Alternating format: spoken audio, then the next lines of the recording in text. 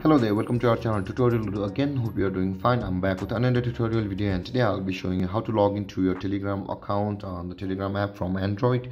And now without further ado let's dive right into the video. But before that don't forget to like subscribe and hit that bell icon for more videos. Now to log into your telegram account on the telegram app on android let's open our telegram app first. And when you first install your telegram it will be something like this. If you have already created an account there's no worries. But if you have not yet created an account i'll give a link on the description below to go through a process to create a telegram account. And after that you can see the start messaging option available over here. Tap on there to log in. And after that choose your country.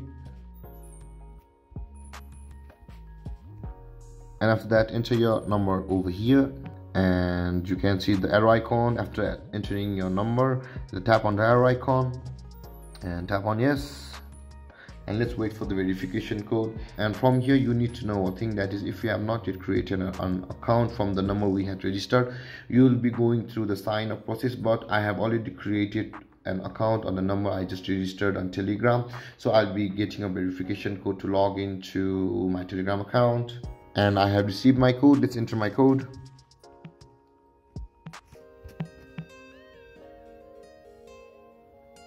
And there guys we have successfully logged into our telegram account. And if you have any confusions or questions regarding the topic don't hesitate to comment in the comment section below. And don't forget to like subscribe and hit that bell icon for more videos. Thank you for watching guys. Peace